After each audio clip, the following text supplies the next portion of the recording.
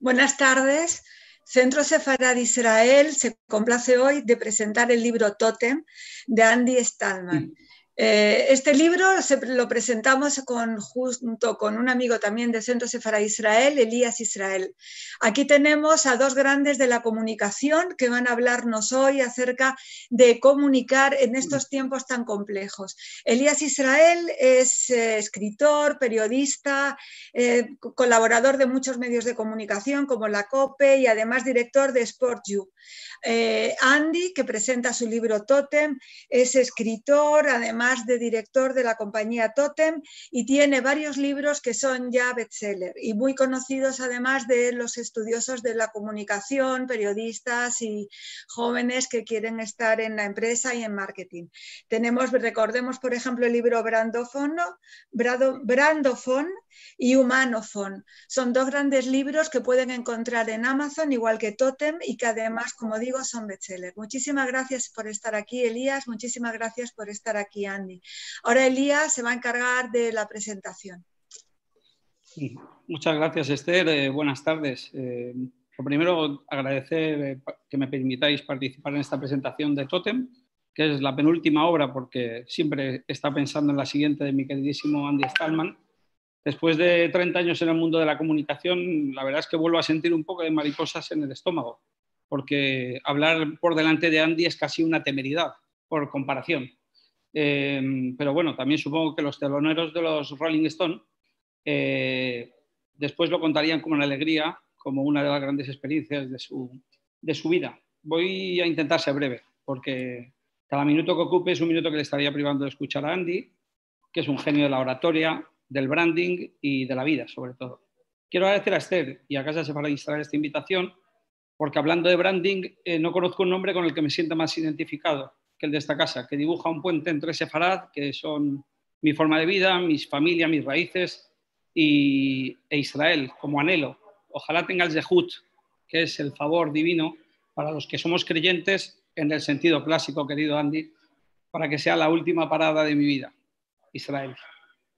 Amigas y amigos, Andy Stallman no escribe libros, escribe invitaciones. pueden parecer extensas por su número de páginas, pero en realidad son intensas. Debo pedirles disculpas porque una sola lectura no alcanza para percibir todos los matices, la riqueza y la profundidad de lo que contiene, pero espero haber captado la esencia. Hace unos meses mi mujer cambió de coche y en el nuevo modelo nos sorprendió que de manera automática las luces largas se, encendían cuando la falta de luz lo permitía. Y en estos tiempos de cambio de paradigma, leer Totem es una manera de encender esas luces largas, de, como dice el autor, sacudir tu conciencia, darte un empujón para que te animes a cambiar y compartir el viaje hacia el apasionante futuro. Háganse la pregunta si ustedes han encendido esas luces largas en sus decisiones como empresarios, como autónomos o como personas. Estoy en Valencia, donde colaboro con la fase final de la, de la Liga CB. Igual dentro de la comparecencia escuchan ruido de pabellón o una bocina o algo así, no se asusten. Y en continuas conversaciones con Antonio Martín, el presidente de ACB, él suele repetir un verbo que viene como anillo al dedo, que es elevarse. De eso trata Totem.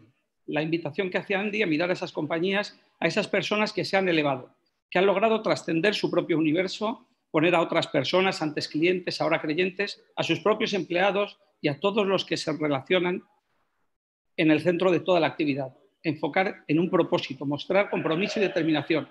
Pero Andy ya lo dice, no vale con mirar, hay que actuar. Los tótems son las marcas más admiradas, queridas y me atrevería a decir que idolatradas. El viaje empieza por un paseo sobre los valores que distinguen a esas compañías con maravillosos ejemplos reales. Ninguno tan grande como el de Amazon, el gran modelo de Totem, porque supo mantener el espíritu de sus inicios, se tomó tiempo para aprender, reflexionó sobre sus errores y no dejó de innovar y esforzarse para mejorar. El propósito firme es necesario, pero no, no suficiente. Lo que marca la diferencia es vivirlo, sentirlo latente en cada empleado, en cada cliente, Elevarse es mucho más que vender. Pretende mejorar la vida de todos los que nos rodean. Por eso se requiere de un compromiso ético, la búsqueda de un mundo mejor, cuidar el medio ambiente, también resumido, y perdona el spoiler Andy, en el proverbio Sioux, no heredamos esta tierra de nuestros antepasados, la tomamos prestada de nuestros hijos. La invitación de, la invitación de Totem nos deja reflexiones maravillosas sobre nuestros mayores, a los que tanto hemos maltratado en estos últimos meses para poner en valor su experiencia. Nos muestra Internet como gran amplificadora de lo que somos como sociedad y nos exige valorar el peso, el papel que le estamos dando a la tecnología respecto a las personas. Quienes no entiendan de personas, dice Andy, no entienden de negocios. El target es ahora un individuo, una persona con nombres y apellidos. Y eso es una gran lección para todos los que pensamos en cómo conectar con la generación Z, con los millennials y demás.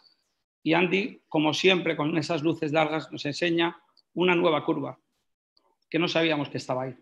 La capa Stallman, como me gusta a mí llamarla, nos invita a ahondar en el alma de las marcas, esa que contiene su apellido, Stallman, y que a él le gusta hablar de, su, alma de las marcas. Por eso en este libro cabe el amor, el amor como capítulo.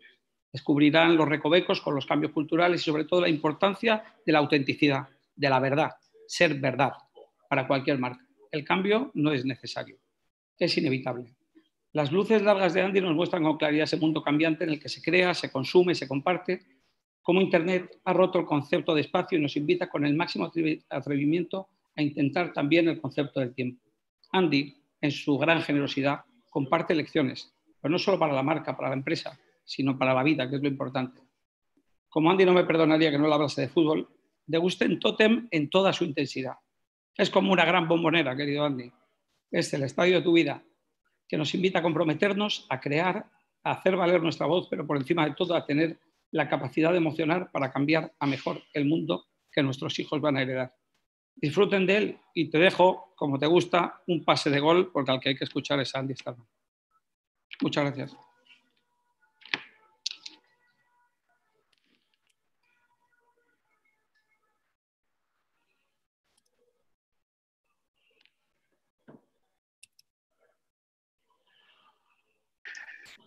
Perdón, no se me escuchaba, ¿no? Eh, quería decir que, muchísimas gracias, Elías. Sabes la admiración eh, y la estima, el afecto que te tengo. Eh, y tus palabras no han hecho más que volver a alegrar mi corazón y a demostrar que no solamente escribís como un ángel, sino que tenés el corazón de un ser extraordinario.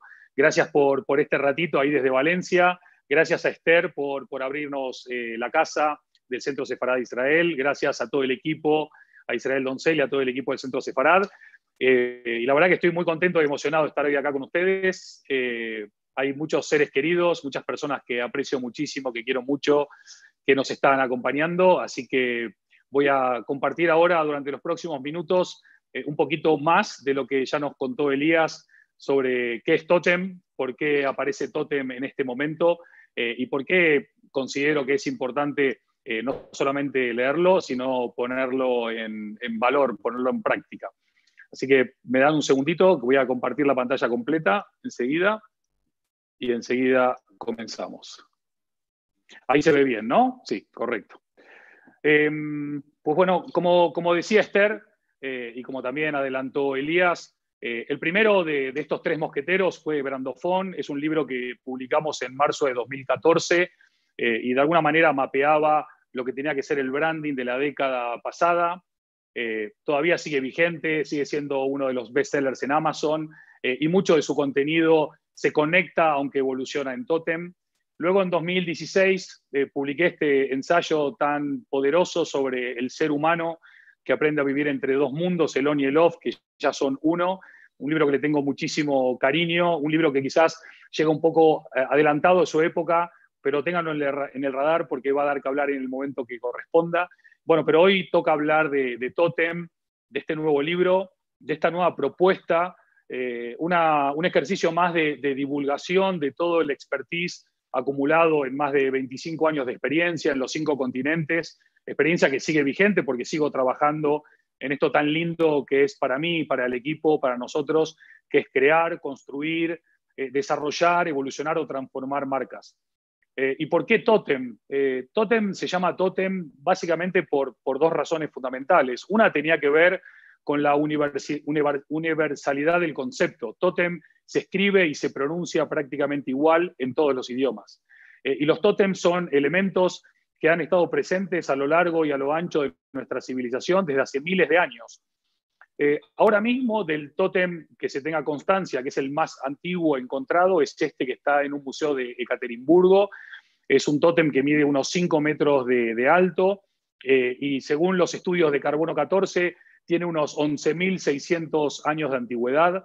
Eh, ya podemos apreciar que desde hace casi 120 siglos eh, nuestros antepasados, tribus, clanes, grupos, ya se reunían alrededor de algo que se llamaba tótem, ya sea para buscar protección, ya sea para reunirse para una celebración, ya sea reunirse para decidir cosas importantes para la tribu, o simplemente era el elemento conductor o conector de ese sentido de pertenencia a algo más importante de lo que era cada uno. Eh, mucha gente eh, se pregunta eh, por qué seguimos escribiendo libros en la época audiovisual, de YouTube, de Instagram, de Netflix. Para mí los libros son, son plataformas. Los libros no cambian el mundo, pero pueden cambiar a las personas que cambien el mundo. Y, y, también hay que tener una dosis de locura para escribir un libro que sabes que no solamente no vas a ganar dinero, sino que vas a perder. Pero los que creemos verdaderamente en la contribución, a ser un mundo mejor, una sociedad más responsable, más consciente, más conectada en el sentido más humano y no tanto en el sentido más tecnológico, eh, tenemos que estar un poco locos, ¿no? Eh, y ahora mismo, ¿por qué es importante Totem? Eh, Totem, por estas circunstancias quizás poco conocidas de la vida, llega en el momento justo, no llega ni antes ni después. Es el primer libro que habla de marcas, empresas, organizaciones, instituciones, emprendedores, startups, después del COVID o casi después del COVID. Es el primer libro de esta nueva era. Eh, es el primer libro que ayuda a encontrar calma en este caos, caos que de alguna manera es el orden que aún no comprendemos. Eh, y mientras muchas empresas o personas tratan de volver a cierta zona de confort pre-coronavirus, eh, lo cierto es que no se puede volver atrás. todos en la vida tenemos claro que para atrás ni para tomar envión, todo es para adelante, la construcción de lo que se viene eh, puede ser eh, tremendamente negativa o poderosamente positiva y eso no depende ni más ni menos de lo que cada uno de nosotros hace, decide, comparte, crea y comunica para hacer algo mejor o simplemente para no hacer nada. Eh, desde que salió a la venta Totem el 19 de mayo, se transformó en un bestseller, número uno en ventas, en marketing, número uno de ventas en ventas, eh, y esto para mí eh, no se traduce en una alegría económica, se traduce en una alegría emocional. Saber que la gente está eligiendo Totem para leer es darme cuenta de que la conciencia del impacto de las marcas devenidas en Totems, marcas poderosas, admiradas, queridas, como decía Elías, eh, es, una, una, coyuntura muy, muy especial. La gente cree más en el poder de las marcas que en el poder de los políticos para transformar las cosas. Eh, tal es así de que el mensaje de Totem está llegando a diferentes ámbitos eh, periodísticos, eh, económicos, empresariales, think tanks, en donde se está analizando el contenido del mismo, porque transversalmente es un mapa para el futuro al que nos dirigimos y entiendo como mínimo el futuro esta década del 2020 al 2030. Totem no pretende convencer a nadie, Totem, simplemente lo que busca es eh, impactar en todas aquellas personas ávidas de información, de conocimiento, de inspiración, pero todo aquello llevado a la acción para poder transformar las cosas. Lo único verdaderamente transformador es la acción. Pero los tótems no solamente eran elementos, ya sea naturales o artificialmente creados por el hombre, sino que los tótems eh, están entre nosotros históricamente, ya sea en el arte, eh, ya sea en muchos otros ámbitos. Pero lo más importante es que a pesar de este mundo eh, incierto, eh, peligroso en algunos ámbitos por lo desconocido que, se presenta el futuro, eh, nos regala un presente que indudablemente, y estos son datos, no opinión, es el mejor presente de la historia de la humanidad. en el año 1981, el 42% de la población mundial vivía en extrema pobreza. En 2015, estamos por, por debajo del 10% y se estima llegar al 2030 por debajo del 3%, lo que prácticamente, según el Banco Mundial, sería prácticamente erradicar la extrema pobreza. Si analizamos, por ejemplo, la muerte de niños menores de 5 años por un montón de enfermedades, todas, eh, la mayoría de ellas prevenibles, vamos a ver la cantidad de, números tremendos que había en la década del 90 y cómo se han reducido esos números todavía altos, hay que decirlo, todavía es un, gran challenge por delante, pero ya en 2016 los, números eh, se estaban reduciendo dramáticamente. de una manera positiva. O también si pensamos en el alfabetismo mundial, en el año 1820 el analfabetismo era el 90% de la población mundial. Hoy el analfabetismo es más o menos 900 millones de personas sobre una población de 7.800 eh, millones de personas, con lo cual los números están acompañando el proceso de avance, de evolución, de progreso, de transformación, pero no alcanza, eh, no es suficiente. Eh, vamos a seguir recibiendo pandemias, vamos a seguir recibiendo shocks de todo tipo y tenemos que seguir preparados para lidiar con aguas turbulentas, con futuros cada vez más inciertos, pero también con mundos que nos aportan cada vez más oportunidades, más herramientas, más soluciones tecnológicas, pero también soluciones eh, espirituales, filosóficas eh, y de muchos otros ámbitos. Eh, lo primero, antes de continuar, es agradecerles a todos y a todas por vuestro tiempo. lo más valioso que tenemos hoy, junto con la salud, es el tiempo, el tiempo no es probable, lo que cada uno hace con su tiempo para mí es lo más valioso y que hoy nos estén dedicando un ratito a la presentación de Totem eh, es, de agradecer mucho. Y también la dinámica de las circunstancias hacen de que no podamos buscar más la excusa de no tener tiempo para hacer cosas, para construir el futuro, para ser más sostenibles, para terminar la transición de la estética a la ética, para buscar una nueva forma de liderazgo, para abrazar valores verdaderamente honestos, auténticos y genuinos. Eh, y escribir un libro es hurgar en lo que somos, en dónde estamos y a dónde queremos ir.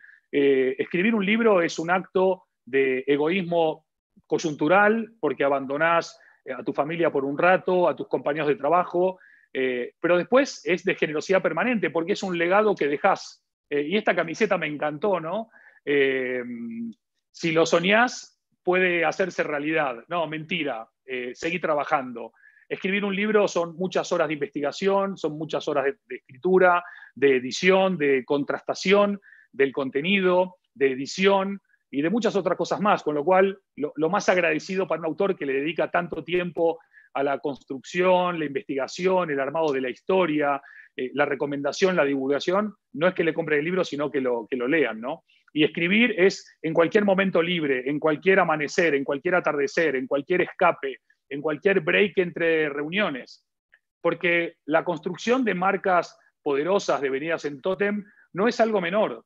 Eh, nuestro futuro y nuestra esperanza está de alguna manera depositada en el rol trascendente y en el liderazgo trascendente de estas marcas.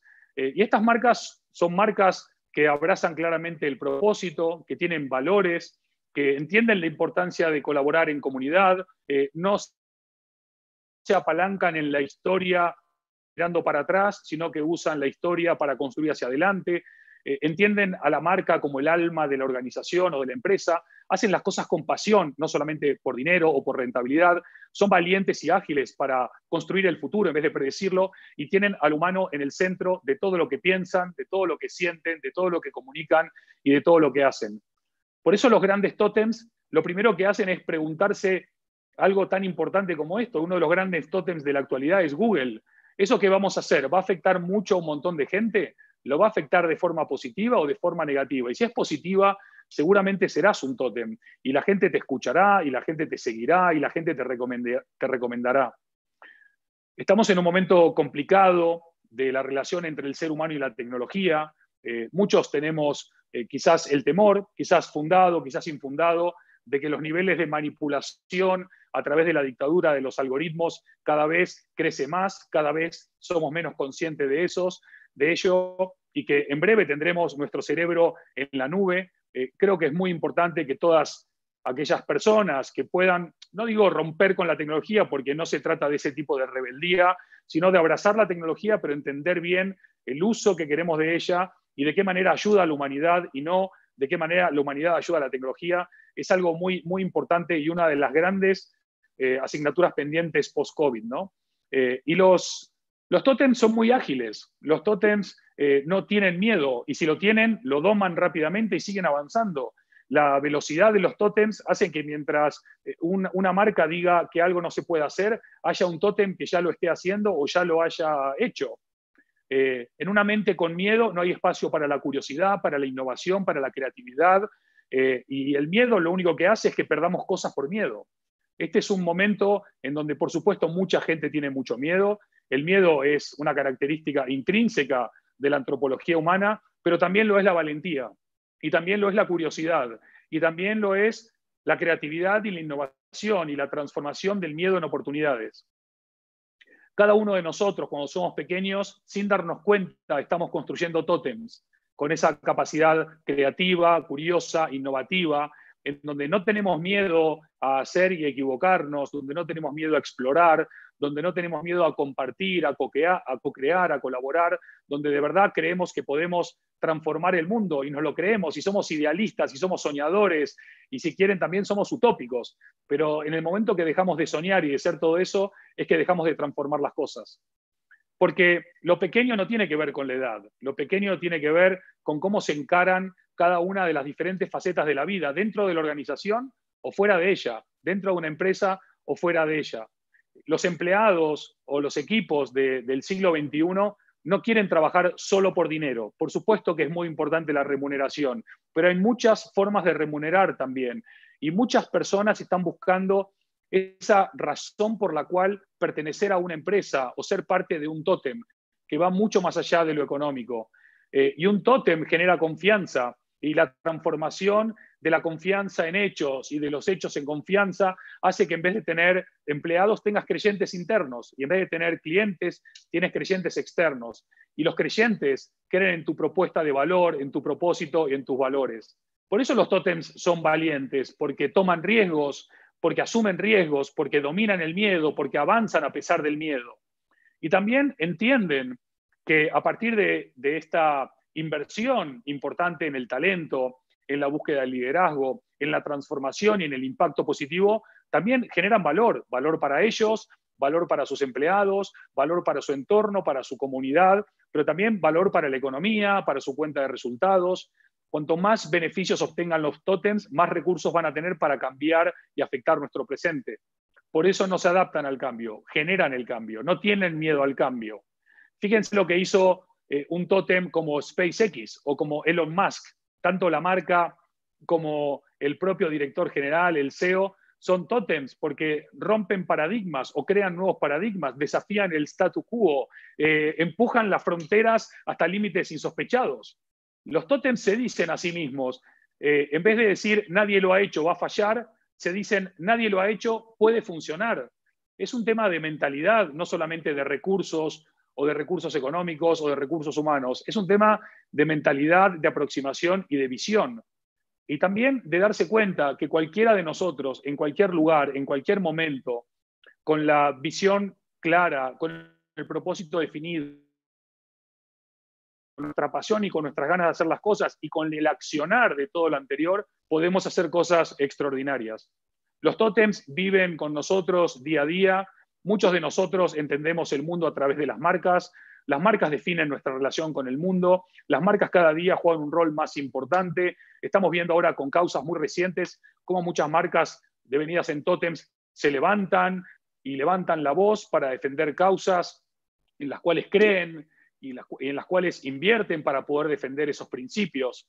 Y los tótems están presentes. A veces nos damos más cuenta, a veces nos damos menos cuenta. Hay tótems que comunican mejor, otros que no comunican con lo que dicen, sino en lo que hacen y en cómo lo hacen. Hay tótems muy jóvenes como Greta que levantan la voz para concientizarnos del cambio climático o de, la emergencia climática.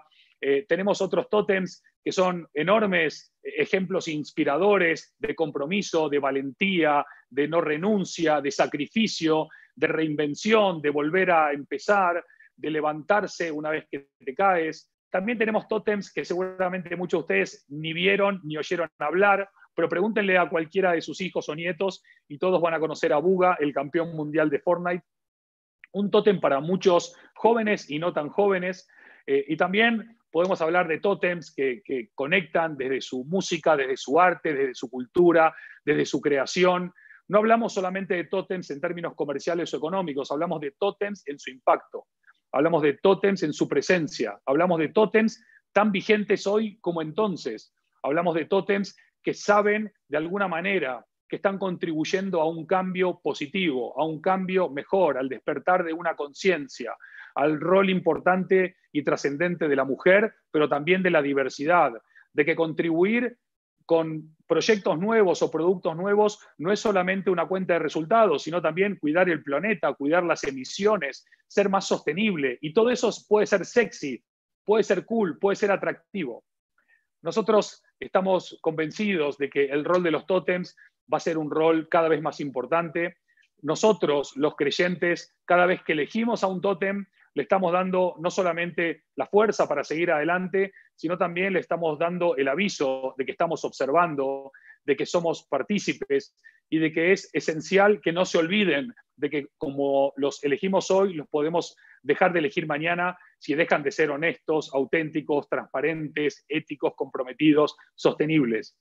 La simpleza y la potencia de un gran tótem para impactar, para ser memorable, para construir y para cooperar son esenciales. Hoy todas las marcas pueden transformarse en tótems, no solamente por quererlo, sino por la forma en que encares tu proyecto, en que tengas claro tus objetivos, en que, en que tengas muy definido con quién lo quieres hacer y cómo lo quieres hacer, y sobre todo marcas que se muevan de una manera ágil, veloz y que no esperen al día de mañana o que no esperen las condiciones ideales, porque las condiciones ideales ni existieron, ni existen, ni van a existir.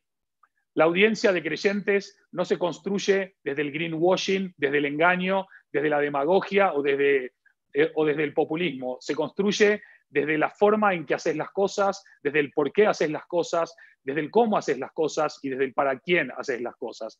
los creyentes eh, son tan leales a tu tótem que te van a defender, a cuidar y a mimar. Por eso cuando construís un tótem, conseguís ese sentido de pertenencia, de conexión y de orgullo, de ser parte de algo más grande, de ser algo que impacta, que transforma, que mejora y que evoluciona. Nos dirigimos a una época en donde todo lo que se puede digitalizar se va a digitalizar y todo lo que se puede automatizar se va a automatizar, menos la emoción humana. Cuando hablaba Elías Israel, se me hizo un nudo en la garganta, es un tipo que sabe tocar eh, la fibra de cualquier persona, eh, sabe conectar emocionalmente, eh, sabe inspirar y para mí la emoción es muy importante entenderla en qué contexto, porque hay muchas emociones. Israel sabe conectar con las emociones positivas.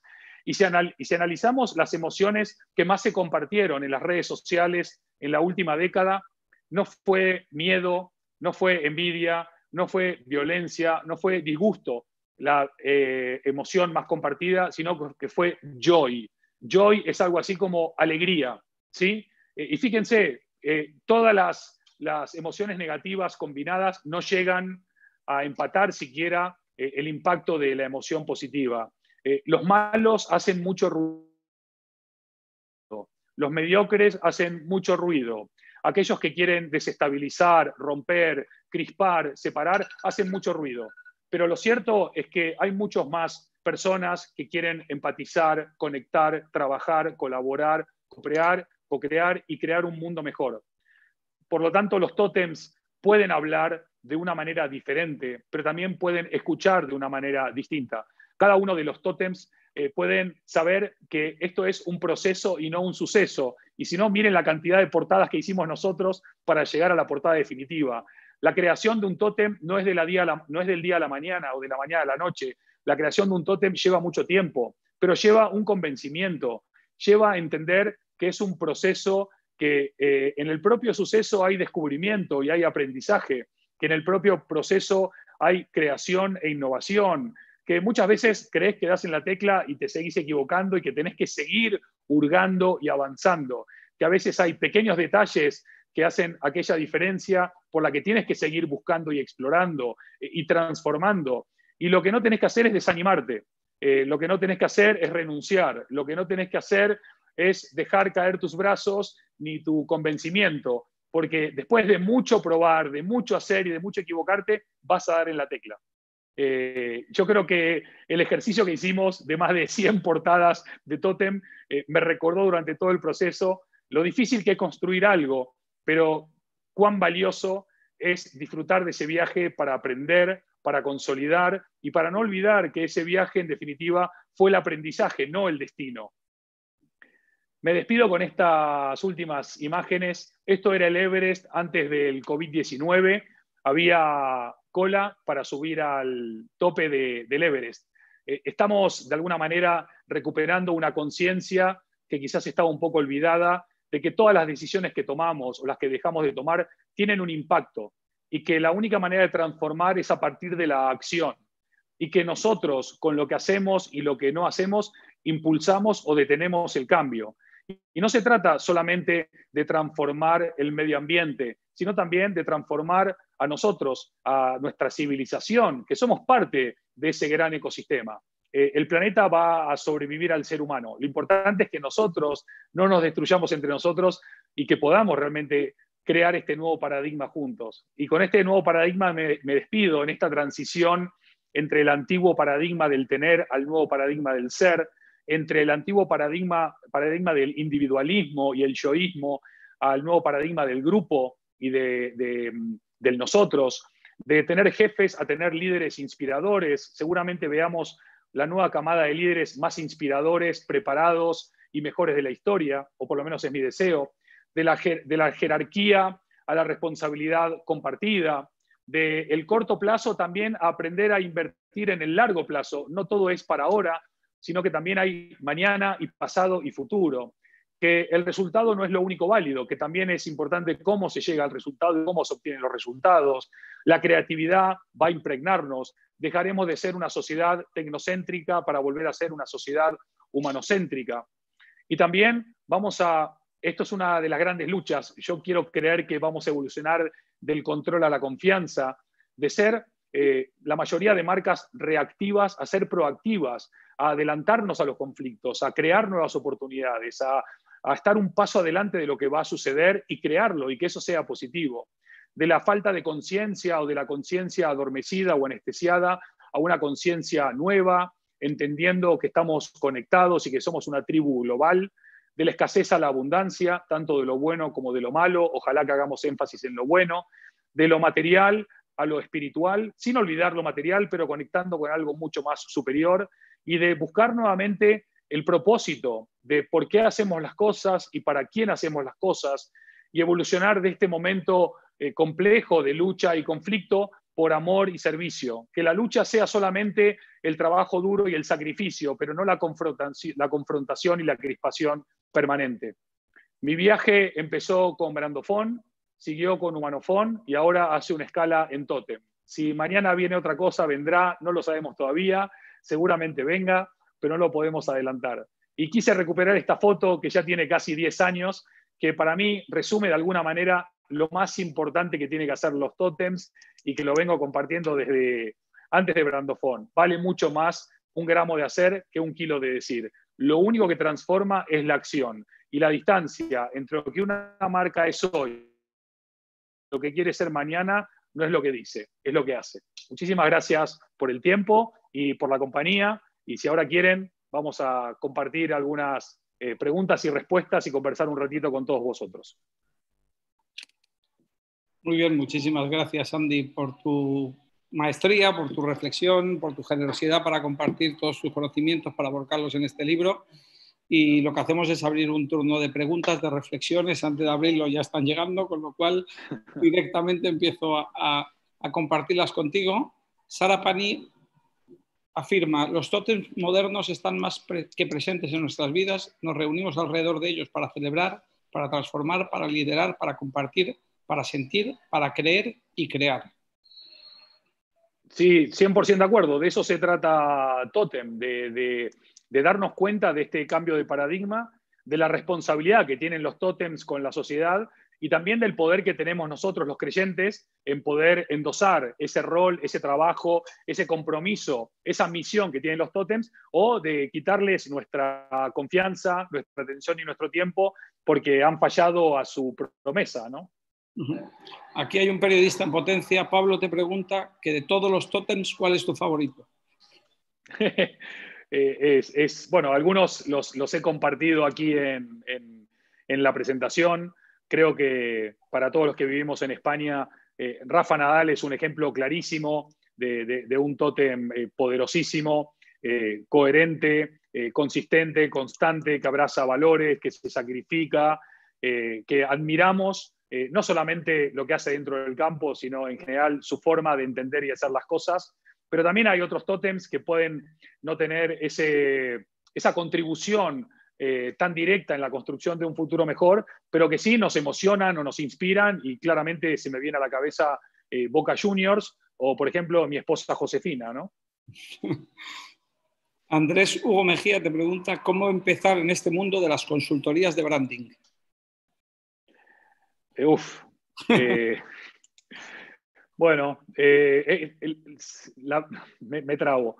Em, es muy difícil eh, para mí, que llevo en el mundo del branding tanto tiempo, eh, tener que seguir eh, evangelizando y divulgando en el mundo de las empresas, las organizaciones, los países, los países, las ciudades, las instituciones, de la importancia trascendental que tiene trabajar bien la marca.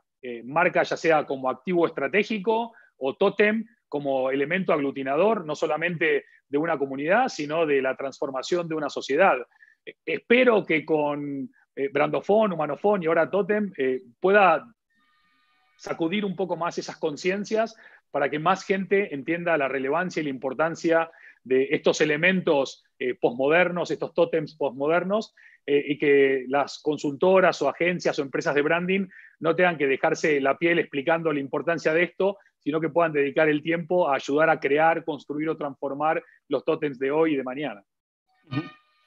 María Díaz te pregunta, eh, te dice, me gustaría que nos hablaras de los tótems políticos, si es que lo consideras oportuno en esta presentación. Bueno, eso, es una muy buena observación y, agradezco que haya salido porque eh, en este estudio internacional sobre en, quién confían más los ciudadanos para cambiar las cosas y para cambiar el mundo a, mejor, eh, la mayoría de gente responde eh, confiamos más en las marcas que en los políticos, ¿no? Pero claramente, como dice ella, las marcas también son eh, marcas. perdón, los políticos también son marcas, ¿no? Ya sea la marca de un primer ministro, de un presidente, de una ministra, o la marca de su partido político, o la marca del país al cual representa en el momento que está ejerciendo una función de Estado. Eh, hoy por hoy tenemos un problema muy grande con, con, los líderes o con los líderes políticos. creo que fue Winston Churchill, uno de los grandes estadistas que dijo, cuando los políticos dejen de pensar en las próximas elecciones y empiecen a trabajar para las próximas elecciones, entonces dejaremos de ver políticos y empezaremos a ver estadistas. Muy tristemente, eh, la mayoría de políticos, con algunas muy buenas excepciones, están más focalizados en las elecciones, eh, en las parcelas de poder y en, gestionar eh, sus terruños de poder verdaderamente contribuir a, mejorar eh, no solamente la vida de las personas, sino a hacer avanzar el país invirtiendo más en, desarrollo, en progreso, en educación, en innovación, en, creatividad. E, es muy difícil ahora mismo pensar, pero bueno, se me viene a la cabeza algún ejemplo, como puede ser la primera alguien como Angela Merkel, pero es muy difícil encontrar eh, eh, políticos eh, verdaderamente, no digo de raza, ¿no? Pero, pero de una estatura que estén justamente a la altura de la problemática global que vivimos más allá del coronavirus. Guillermo Zamorano Martín te pregunta qué le hace falta a España como marca país para ser un tótem. qué, buena, qué buena pregunta. Guillermo, un saludo grande. yo, yo, creo que España es más tótem hacia afuera que hacia adentro. Eh, siempre que hablas con alguien de España, eh, vas a ver que está criticando España por algo, ¿no? Es como un gran deporte nacional. Eh, bueno, yo lo puedo decir y lo tengo escrito desde prácticamente en una columna que salió en cinco días en el año creo de 2008 y dije, para mí España es el mejor país del mundo para vivir. creo que para pasar a categoría tótem, España lo que necesita es, es un reencuentro en todos los estadios, en dejar de, cavar trincheras, de enfrentarse, de trabajar mucho más colaborativamente, co-creativamente, cooperativamente, entender justamente el valor de la construcción de una marca, no solamente hacia afuera, eh, sino también hacia adentro, eh, y también que los propios españoles, igual que hubo ese maravilloso eh, anuncio de Nike en la época dorada de Pau Gasol, Andrés Iniesta y, y Rafa Nadal, que decía ser español ya no es una excusa, es una responsabilidad. Creo que por ahí van los tiros, ¿no? España tiene todo para ser y para seguir siendo un país ejemplo en un montón de cosas, eh, tótem en un montón de otras, pero bueno, eh, los tótems tienen que plantearse los desafíos y estar a la altura de los mismos. Gema López, eh, no sé si una fan o una creyente, dice, Andy, eres un genio, ¿por qué no te presentas a presidente del gobierno?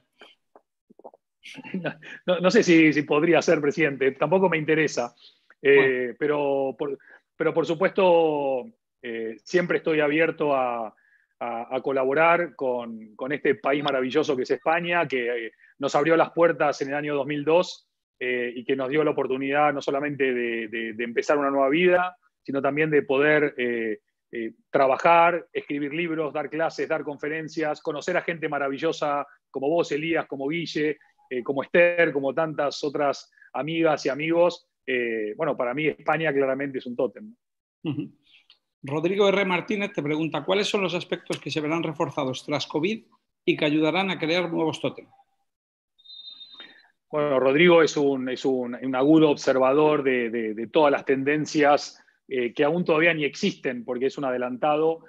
Yo creo que, el COVID solamente va, a potenciar aspectos que ya veníamos viviendo. Eh, el más obvio de todos es el proceso de digitalización que venía en cámara lenta y ahora eh, está en modo turbo. Eh, creo que va, a despertarse quizás de una manera eh, más importante la conciencia de cómo consumimos, qué consumimos, cuándo consumimos y, de qué manera lo hacemos. También las marcas y los tótems han empezado un viaje importante hacia la sostenibilidad, eh, la sostenibilidad no solamente entendida como emisiones de CO2, sostenibilidad como, como mentalidad, ¿no? como visión de las cosas. También creo que la ética va a jugar un rol importante. El 80% de los españoles eh, busca marcas con valores por encima de la calidad o el precio.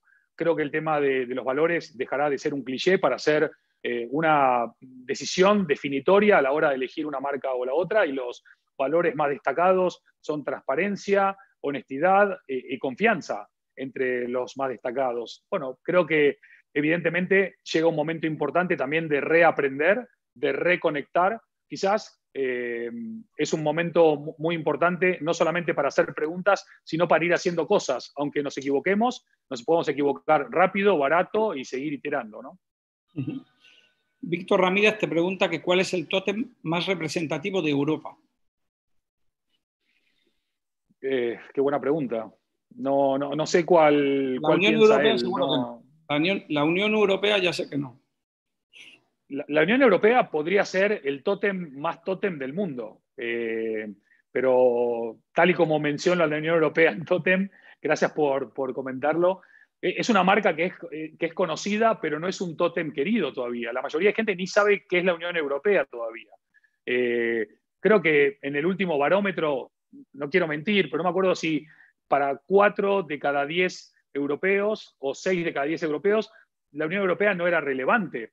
Eh, eh, pero imagínate toda la contribución de la Unión Europea a nivel de Erasmus, de, fronteras abiertas, de aportaciones económicas, de mejora de infraestructuras y tanto, sobre todo en sus principios básicos y fundacionales, ¿no? de, de paz, de igualdad, de equidad y de libertad, eh, mirá si no podría ser un, tótem eh, poderosísimo.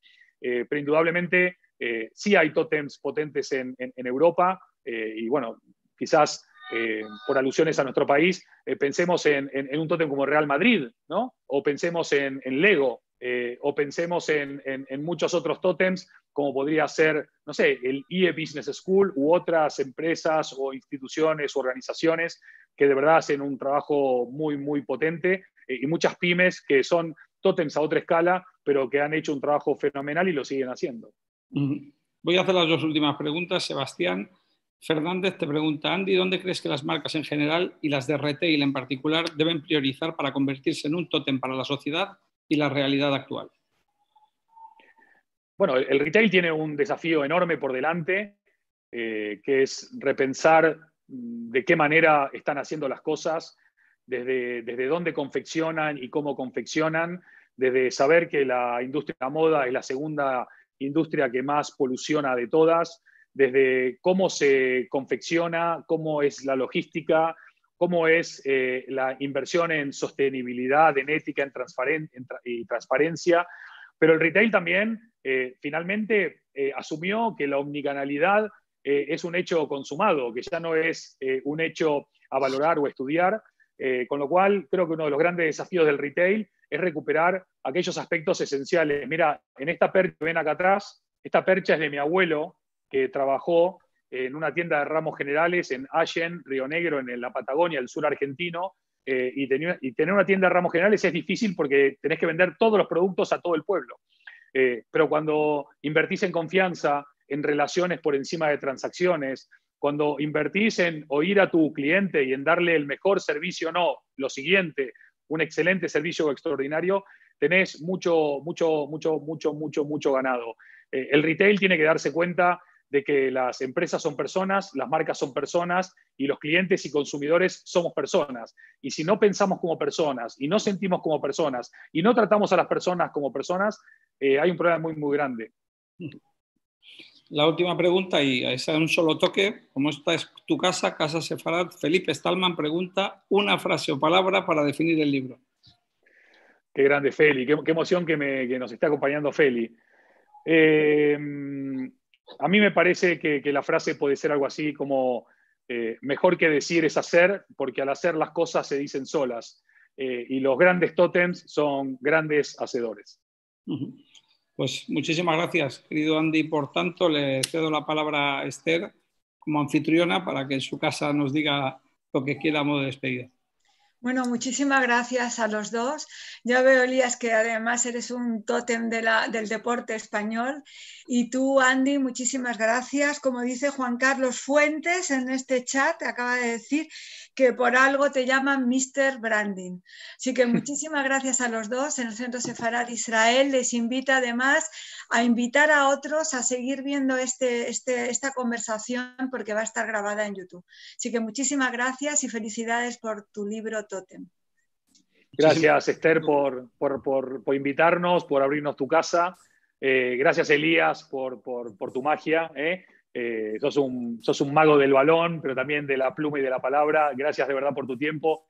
Esther, a vos y a todo el equipo del Centro Sefarad de Israel, muchas gracias. Y a toda la gente que nos acompañó de tantos lugares, muchos amigos, amigas, bueno, que haya aparecido Feli por ahí, toda la familia seguro que nos acompaña. Gracias por, por este momento tan especial. Gracias a ti. Muchas gracias a todos. Un abrazo, que estén bien. Adiós.